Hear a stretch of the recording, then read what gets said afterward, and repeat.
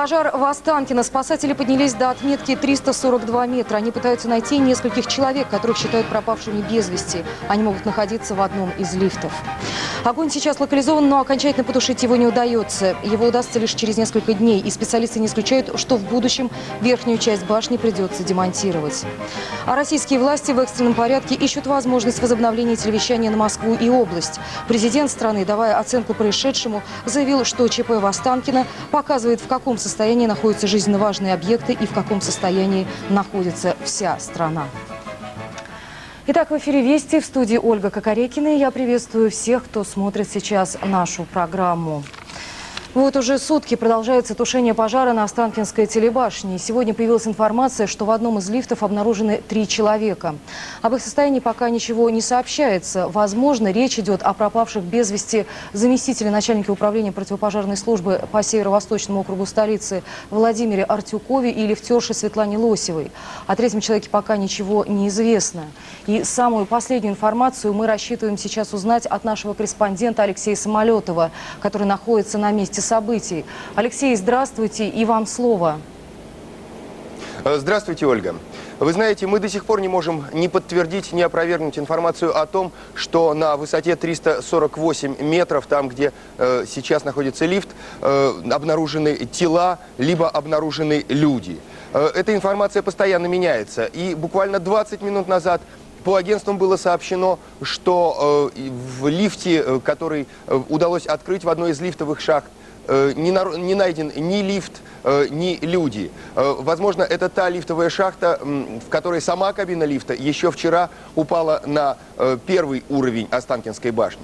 Вместе с тем, как нам стало известно 10 минут назад, спасатели вместе с пожарными сейчас пытаются пробиться ко второму лифту и открыть вторую лифтовую шахту. Возможно, именно в этом лифте и находятся три человека, которых уже сутки считают пропавшими без вести. Вместе с тем, информация э, середины дня заключается в том, что э, три человека были эвакуированы э, с высоты примерно 300 метров, э, с отметки 300, и они сейчас находятся в реанимации. Э, как точно э, сейчас э, распределить эту информацию, не знают, пожалуй, ни один журналист, который работает возле Останкина. Милиция и пожарные категорически отказываются комментировать все, что сейчас э, происходит э, на э, фронте, скажем так, спасения людей.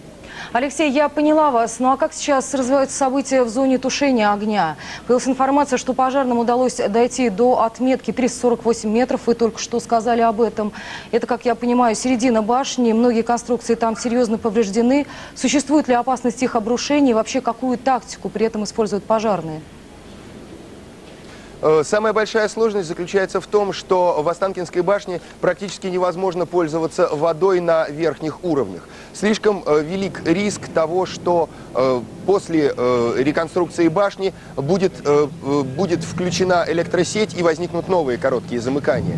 И вот мы буквально несколько минут назад были у подножия башни, работали рядом с этим местом и наблюдали, как пожарные, тем не менее, первые этажи проливают водой. Дело в том, что изоляция, которая Э, растекалась и горела, она э, ее искры, э, остатки пластика, который горел, падали именно на первые уровни. И сейчас первые уровни Останкинской башни пожарные все-таки решили пролить водой, чтобы исключить возможности загорания. Что же касается верхних этажей, то там по-прежнему применяется техника э, порошкового тушения огня. Дело в том, что порошковые огнетушители, которые выбрасывают из себя специальный углекисло угли... углекисло содержащий порошок при соприкосновении воздуха с воздухом, он превращается в углекислый газ, который душит огонь. Это единственная тактика, которую сейчас принимают пожарные. Ко всему прочему, они стараются прорубить технологические ходы, э, чтобы исключить возможность продолжения, продвижения, простите, огня по кабельным э, шахтам, и туда тоже запускают порошковые огнетушители. Ну а каков,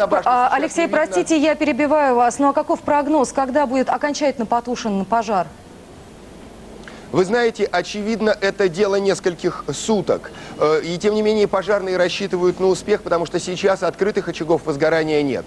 Что же касается э, обрушения башни, то мы разговаривали с инженерами, они не видят э, перспективы, такой печальной перспективы для Останкинской башни. Они говорят, что башня была спроектирована из очень прочных материалов, которые Да, устояли Алексей, в огне. Да, я поняла вас.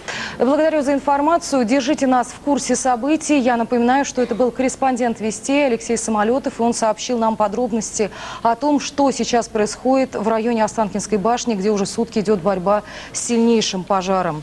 Сейчас в районе Останкина в радиусе полукилометра расставлено оцепление. Специалисты говорят, что конструкция башни надежная, она устоит. Однако пока пожар не потушен, э, нужно предусмотреть э, все варианты и необходимо быть на чеку.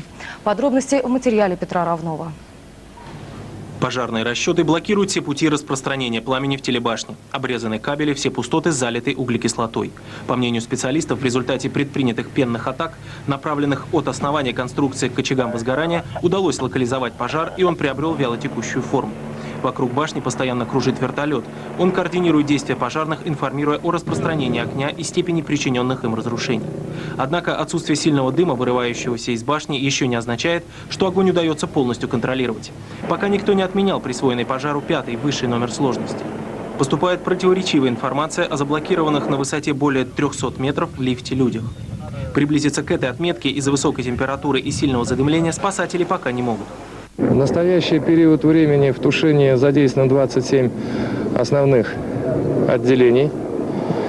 Э, Участвуют э, непосредственно в тушении пожара э, непосредственно э, в здании телебашни э, 32 человека. Основные работы ведутся на отметке э, 69 метров. В целом обстановка улучшается. Эти кадры Московской службы спасения были сделаны накануне. Вот что происходило в вестибюле башни в первые минуты пожара.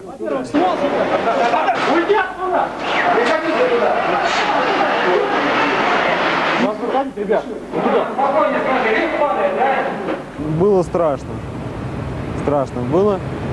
Э, Падали э, осколки э, облицовочного материала. Вот. Удар, достаточно сильный удар был. И, в общем, как бы переживали за людей, которые могли бы быть там, в кабинах лифтов. Район Останкинской башни оцеплен. Изменены маршруты движения общественного транспорта. Власти опасаются частичного обрушения высотной конструкции. За отклонениями башни постоянно следят геодезисты, и пока они говорят лишь о незначительных колебаниях в пределах нормы – 7-9 метров. На главный вопрос, какова степень разрушений внутри конструкции, сейчас точно не может ответить никто. В штабе по тушению пожара полагают, что более половины стальных тросов телебашни, которые придают жесткость сооружению, повреждено. Однако, по мнению экспертов, это вовсе не означает, что катастрофа неизбежна. Даже полная потеря тросов не скажется на устойчивости железобетонной части. Если потеря устойчивости стально- стальной части произойдет, в любой ситуации ее придется демонтировать целью ремонта ниже расположенной части башни и замены самого стального ствола антенны.